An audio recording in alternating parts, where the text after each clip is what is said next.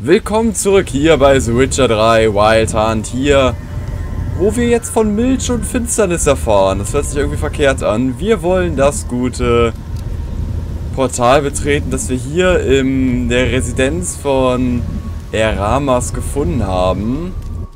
Oh wei. Und ich habe irgendwie Angst. Die Aufgabe ist auf jeden Fall nicht zu schwer für... Puh, hier stinkt's. Entschuldigung. Interagieren. Okay, da kommen wir dann wohl zurück. Ähm, wir wollen die Fackel. Wir wollen die Fackel. Dann wollen wir uns hier mal ein bisschen umsehen. Also, hier haben wir auf jeden Fall einen atmosphärischen, dunklen Ort, der mir so gut wie gar nicht gefällt. Nützliches Fackel.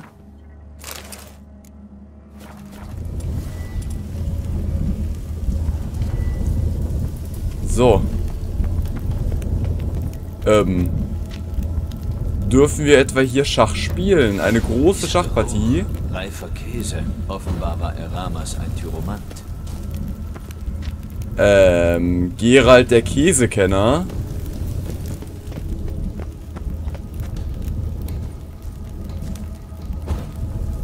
So. Okay.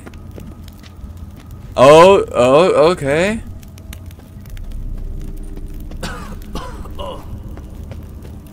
Woraus hat er diesen Käse gemacht? Aus Neckermilch? Ich muss vorsichtig sein. Ähm, ja, okay. Da unten ist kein Sauerstoff mehr, weil der Käse da ist. Reifender Käse, der Sauerstoff entzieht. Ich sag da gar nicht zu.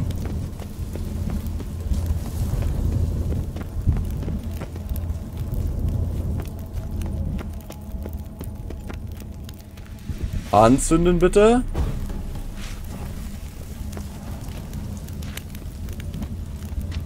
Hier können wir hin.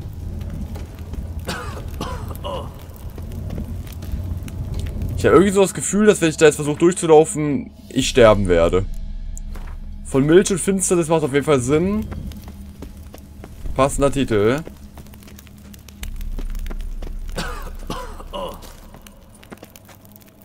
Okay.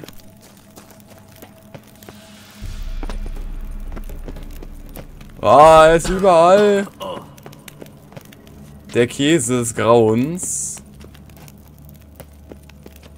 Und hier geht's hoch. Ist ja echt nicht wahr, oder?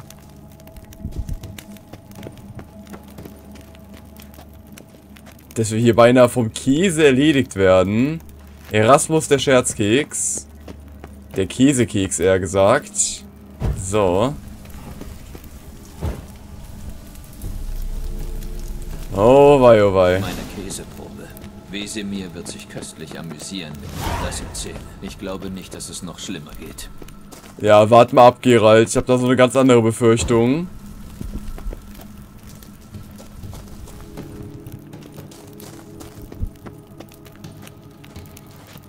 Ich finde es übrigens auch sehr, sehr schön, dass man hier über die Fackeln anzünden kann. Das sorgt auch wieder für so eine Erkundungsatmosphäre, dass man durch eine Höhle streift und dort das Licht entzündet. Ah, jetzt kommt's. Ein Portal, okay. Also es hat sich definitiv... Das war vorher auch nicht, dieses Nachladen der Texturen. Ich mag das neue Update nicht.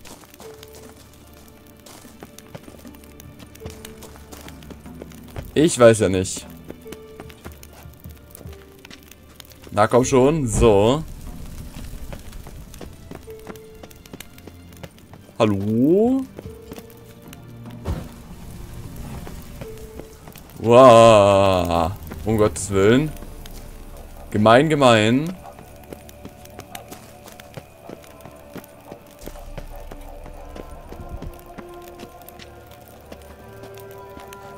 Okay, jetzt wird es wohl ein bisschen kalt.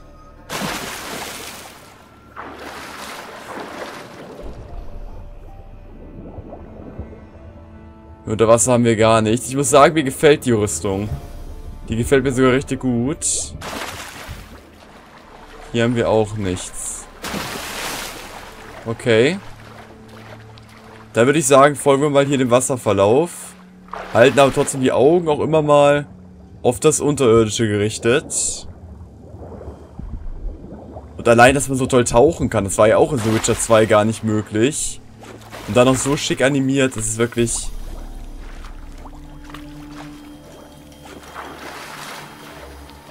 Wenn da nicht im November noch so ein Spiel erscheinen würde, wäre es wahrscheinlich das Spiel des Jahres für mich.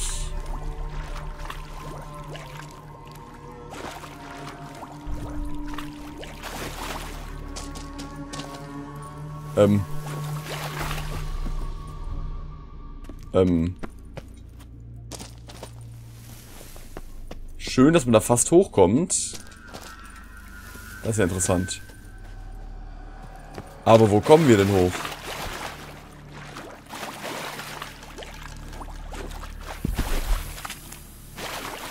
Hoch.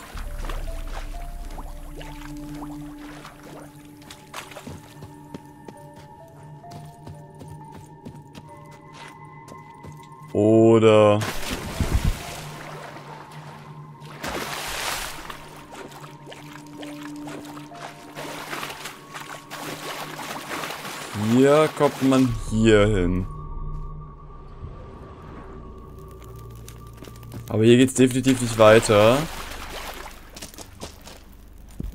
Und auch da kommen wir nicht hoch.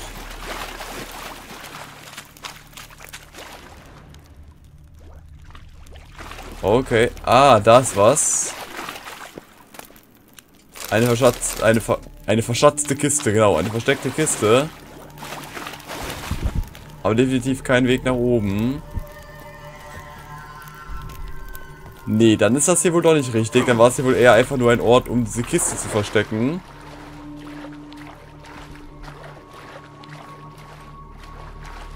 Ja, vielleicht sollte ich einfach mal hier lang schwimmen. Ja, sieht sogar verdammt richtig aus.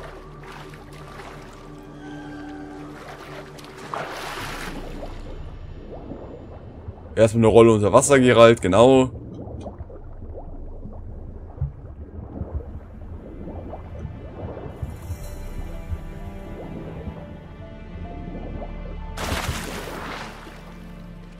Okay. Und auch dieses ja, ich will jetzt nicht sagen, nach Atem ringende Ausspucken, aber dieses Ausspucken von Wasser, sobald Geralt an die Luft kommt oder an die Oberfläche kommt, dieses, oh, ist auch richtig gut gemacht. So, hoch da. Und das sieht richtig aus.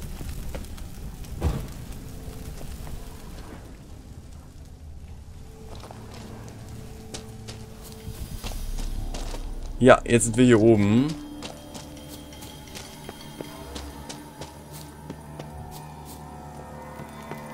Und können hier weiter vorrücken. Okay.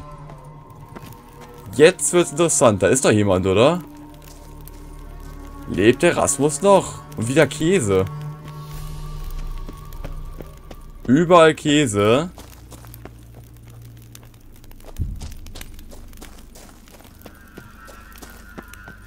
Da müssen wir einmal springen. Diese Entdeckung darf ich Lambert nicht vorenthalten. Neblinge sind immun gegen den Geruch von altem Käse.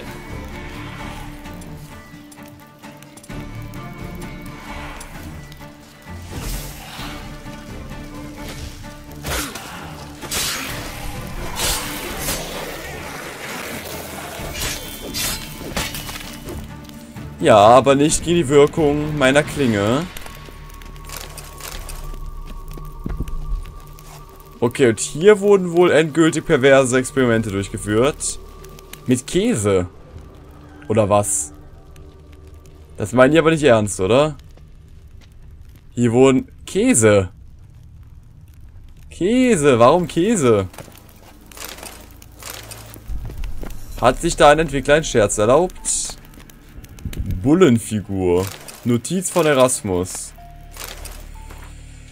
Ja, ja. Käse, Käse, Käse. Was für ein Käse.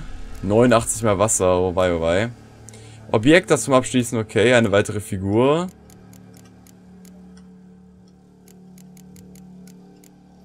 Und dann hier Notizen von Erasmus. Die Vision stabilisiert sich und ich sah, man höre und staune, wie durch einen Nebel Mondlicht die vier Prinzen, ein jeder gerüstet und zu Pferde. Was? Wie durch einen Nebel im die vier Prinzen, ein jeder gerüstet und zu Pferde. Da fehlt doch was, oder? Reiteten oder sowas. Naja, wie Nebel das Pferd... Wie Nebel das Pferd des ersten, wie Schwefel das des zweiten, schwarz wie der Abgrund des dritten, das des vierten jedoch ein Pony. Und dann schaute ich einen klaren Springquell, doch tranken die Prinzen nicht davon, denn dies war verboten. Ich glaube, der ist ein bisschen durch den Wind, der gute Erasmus. Darauf flog ein Paradiesvogel rot und gold über sie hinweg und erhellte den Ast eines Baums. Und der Baum hatte Äste und Zweige, 1400 an der Zahl. Zerrt von der Quelle, sagte der Vogel, doch sie zeigten auf der, auf der Sonne blutigen Tränen und zerrten nicht. Da erschien eine reine Jungfrau mit entblößten kleinen Dekolleté-Aussichten, rot und fest wie reife Lindenbeeren. Dann hatte meine Nase sich das Aroma an das Aroma gewöhnt und die Vision verging. Morgen werde ich versuchen, die Reifeprobe von Genomivore zu entsiegeln.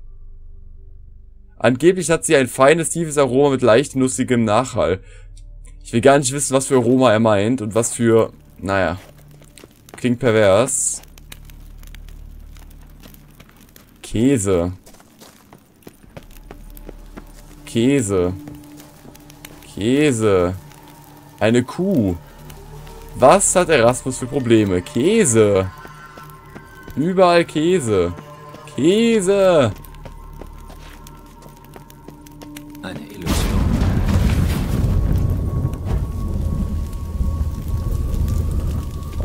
Oh Mann. Das darf ja nicht wahr sein. Eine Art Gewölbe.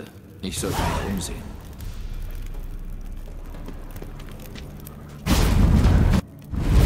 Ich wollte nicht reingehen.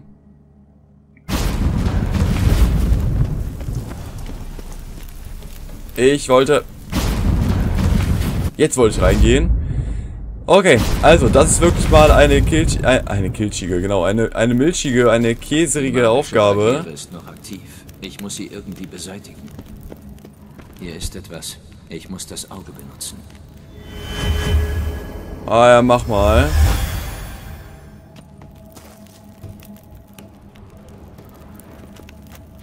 Äh. Äh. Okay. Okay.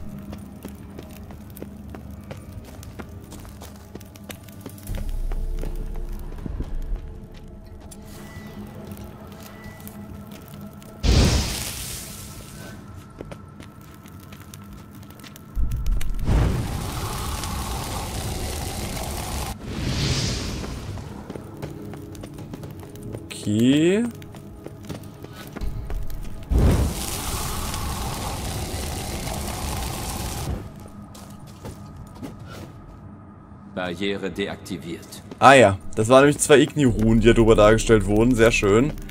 Hier haben wir nochmal kleine Fackelchen. Auch die wollen wir anmachen, wie gesagt. Finde ich sehr atmosphärisch.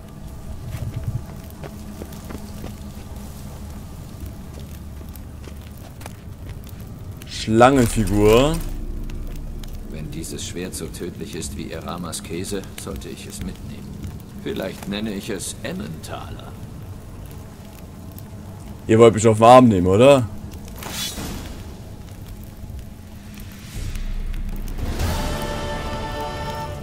Endlich haben wir einen Emmentaler gefunden.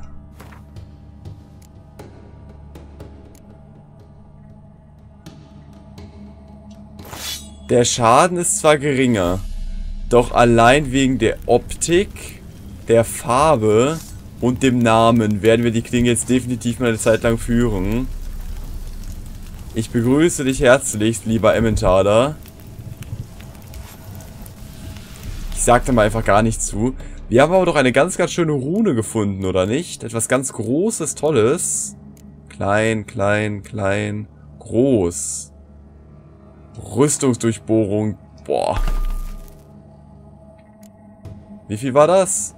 30 Prozent. Ho. 3% auf Taumel ist auch nicht schlecht. 2% auf Vergiften, 10 Rüstungsdurchbohrung. Wert 110. 220. Ne, dann nehmen wir lieber die Taumeln. So. Emmentaler? Emmentaler, wie geht's dir mit Runen? Käsig, das sieht auch mal schön aus. Cool. Also für den Emmentaler hat es sich definitiv gelohnt. Emmentaler. Sieh euch schon die Figuren an, das ist so bescheuert einfach. So, trotz alledem haben wir noch so viele verschiedene Figuren. Ich bin mir beinahe sicher, dass es definitiv noch weitere dieser obszönen Gebäude geben wird. Denn wir haben ja auch noch die Ochsenfigur gerade gefunden. Und auch die wird sicherlich noch irgendeinen Sinn erfüllen.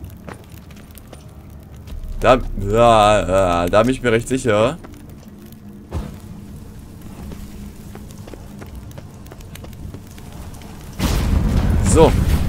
Ab durchs Portal. Aber geniale auf... Achso. Frische Luft. Endlich. Ja. Verbesserte Katzenrüstung. Es darf nicht wahr sein. Da haben wir die verbesserte Katzenrüstung gerade gefunden. Letzter Tagebucheintrag. Habe ich jetzt so gedankenlos eingesammelt.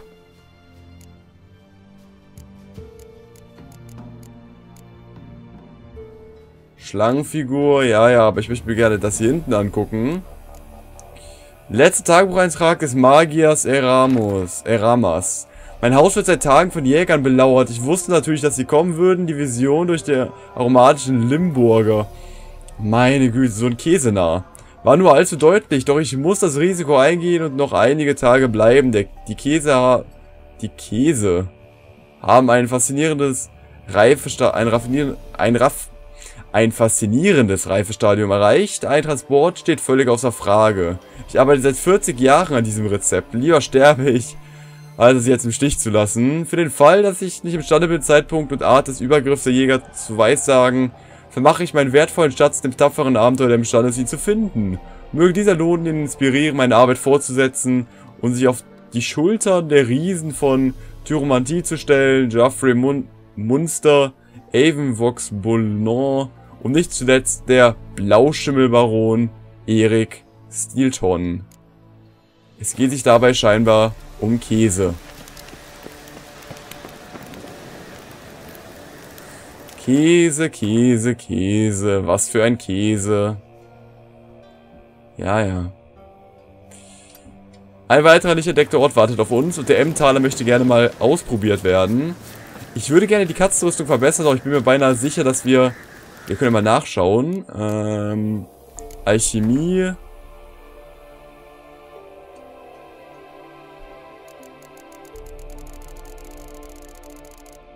Ich glaube, hier sehen wir die Rüstung gar nicht. Dafür müssten wir auf Glossar Handwerk.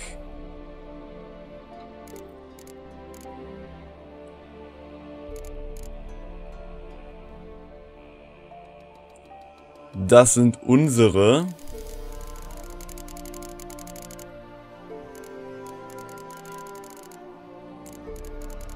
Verbesserte Katzenrüstung.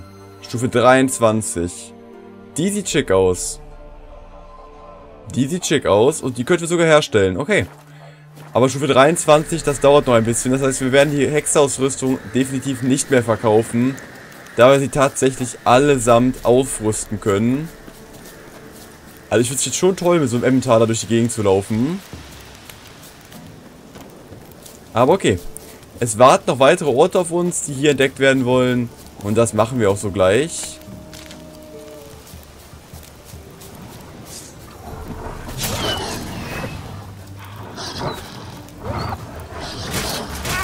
Autsch.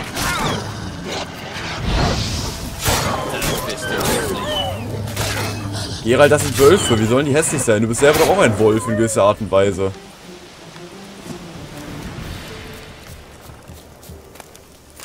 So. Stell dich mal vor, das Schwert würde wirklich nach Emmentaler riechen. Naja, ich will es mir gar nicht vorstellen. So. Dann würden die Gegner wahrscheinlich schon umfallen, bevor sie überhaupt kämpfen. Oh Gott. Das sind mal schöne Bäume. Und irgendwie erwarte ich ein Endriagennest oder so ähnlich.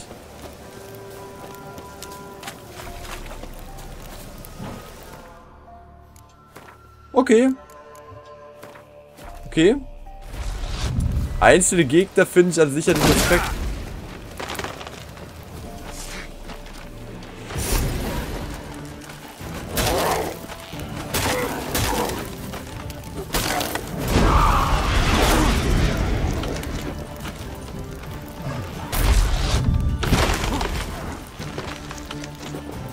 Respekt einflößend.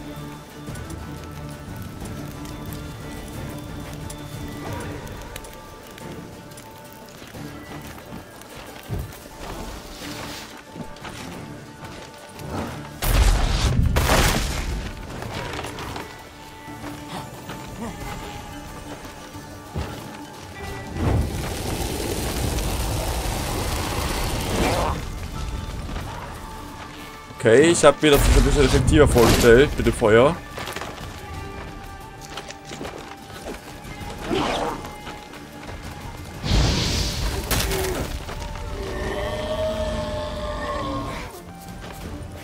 Okay. Wow.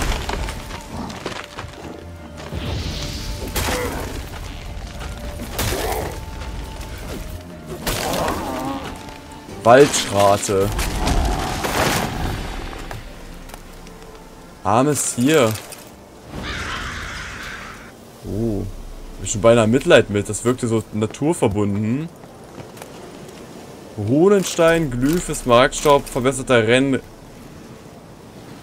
Rennsattel, Zweieck. Man findet definitiv zu viele Waffen in diesem Spiel.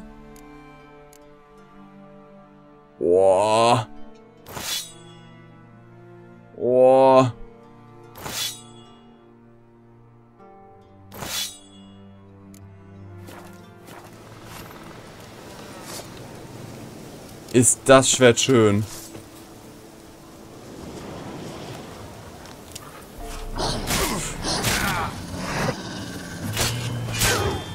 Wolfstufe 22, was ist denn hier los?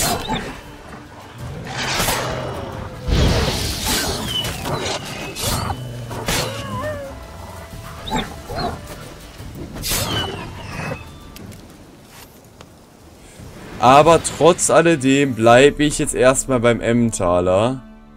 Ich überlege aber gerade, äh, Schaden 164, 207 ist immer noch besser. Jetzt war ich so entschlossen, den Emmentaler zu nehmen und zack finden wir so ein Schwert. Das darf ja echt nicht wahr sein.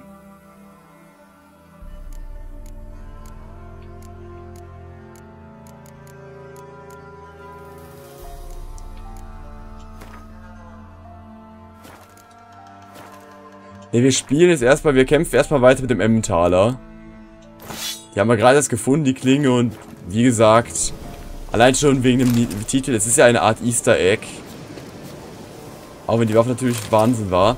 Ich würde aber gerne ganz kurz überfliegend nachlesen, was ein, äh, eine Waldschrate ist.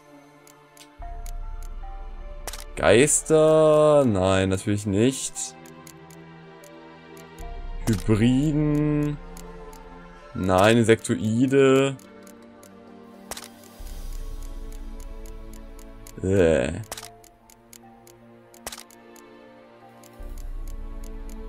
Ein Relikt. Oh Gott, jetzt fühle ich mich schlecht. In diesem Wald jagen wir nicht nie, auch wenn das ganze Dorf verhungern muss. Waldschrate leben in dichten, unwüchsigen Wäldern. Sie sind sehr auf ihre Revier fixiert und Heimlichkeit und List sind ihre einzigen Jagdfertigkeiten. Sie nutzen angeborene Magie, um Pflanzen und Tiere im Revier zu beeinflussen. Steinalt heißt Waldschrate. Die Armen. Jetzt fühle ich mich schlecht. Und ihr seid schuld. Ihr, liebe Zuschauer, seid schuld. Wegen euch? Nein. Ähm, ja. Armer Waldschrat. Tut mir echt leid. Naturverbundenheit und... Wir haben ihn getötet. So, da war ja Werner Roche, oder? Das ist ja auch nur ein Katzensprung. Haha, Katzenrüstung, ihr versteht schon. Finde Junior. Da war Werner Roche. Da war das Lager und da fehlt nur noch die Ecke hier. Ja, nur noch. Hahaha. Ha, ha. Aber wir werden dann erstmal die Ecke hier fertig erkunden. Erstmal da zu dem Lager und dann nach oben und dann nach Werner Roche. Das ist doch mal ein toller Plan. Plötze, komm mal her. Hoffentlich kommt Plötze auch gut mit dem Emmentaler klar. So. Der arme Waldschrat, da fühle ich mich jetzt wirklich schlecht. Meine Güte. Hallo.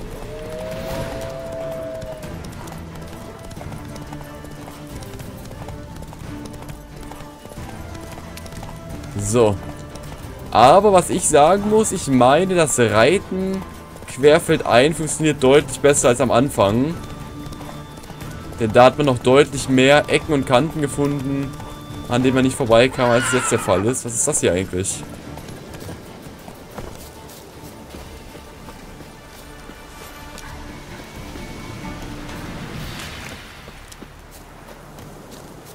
Hütte des Kräuterkundlers. Hallo, Kräuterhändler. Sei gegrüßt. Suchst du Kräuter, Medizin, um schüchterne Mädchen zu enthemmen? Einen Trank, um dir Mumm für eine zweite Runde zu geben? Das war's? Keine anderen Kräuter oder Tränke? Doch. Einer lässt die Haare sprießen, ein anderer tut das Gegenteil. Einer lindert Schmerzen, einer gebrochene Herzen. Sag mir, was dich plagt. Die Anwesenheit von immer mehr und mehr Halblingen. Aber okay, ähm, kannst du kennst du dich mit Meisterrezepturen aus? Kannst du wirklich Meistertränke herstellen? Und nochmal ganz kurz, guckt euch mal Emmentaler an. Es sieht schon schön aus. Kennst du irgendwelche fortgeschrittenen Rezepte? Vielleicht etwas, das du mir beibringen kannst? Was ich weiß, hat mir Meister Gremist von Skellige beigebracht. Willst du bei einem Kräuterkundler in die Lehre gehen? Nein, ich will nur etwas Neues lernen. Nenn es, wie du willst. Du musst über das große Meer zur Insel Arzkellig. Dort wird der weise Meister Gremist im heiligen Hain beurteilen, ob du der richtige Schüler bist. Na, super. Lass mich mal schauen. Und ich dachte, wir können jetzt vielleicht den Meistertrank erlernen. Ich glaube nicht, dass der Plunder kauft, oder? Doch, er kauft Plunder. Dann kauf mal bitte Plunder, mein Freund. Weg, weg, weg, weg. Weg. Weg. Weg. Weg damit. Äh, Puppe. Schöpfkelle, Tabakpfeife. Haut. Verwesenes Fleisch, sehr appetitlich. Lederbalg. Ziegenfell. Aschebar halten wir mal. Schweinehaut kann noch weg. Das wiegt auch alles recht viel. Und das sollte aber mal reichen. So viel Geld hat er auch nicht mehr. Gut, dann auf Wiedersehen. Bis dann.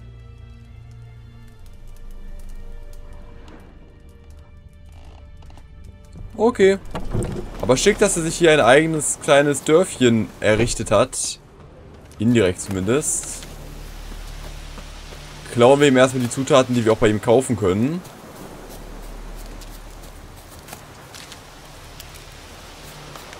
So. Uh, schöne Aussicht auf Ochsenfurt.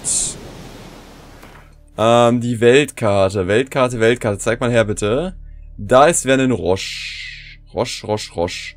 Ich würde gerne erst nochmal dahin reiten und dann einen Knick nach unten machen. Denn nicht, dass Vernon Roche jetzt nachher mit uns zusammen Richtung Norden marschiert, wir den einen Ort da nicht entdeckt haben. Das wäre auch ärgerlich. Das heißt einmal im Schnellschritt, querfeldein, und dann müssen wir eigentlich, auch wenn ich jetzt ungern mache, vor Vernon Roche eigentlich die Aufnahme beenden. Denn eigentlich haben wir uns jetzt so toll mit Erasmus beschäftigt. Es wäre eigentlich viel zu schade, jetzt das Video auch noch mit Vernon Roche zu füllen.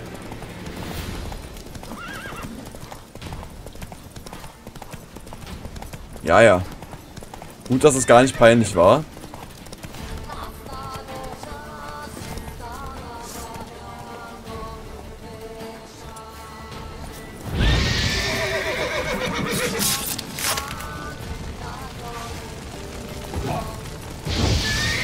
Ich glaube fast, dass die Banditen sich das anders vorgestellt haben, mit dem Reitangriff.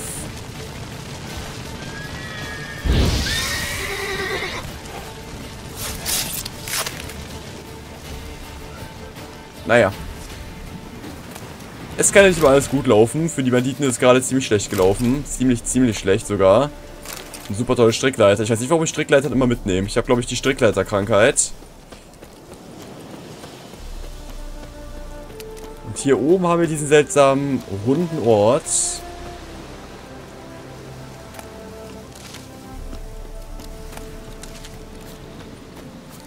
Estajare.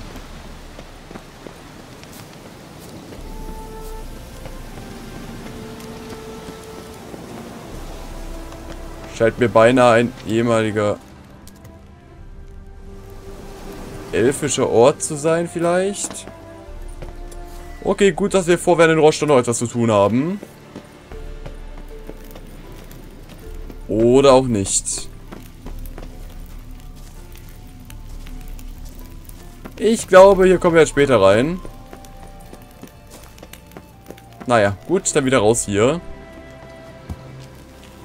Echt ganz schön agil, ne? Unser guter Geralt. Meine Herren, so. Schön, dass hier draußen ein Gegner erschienen ist.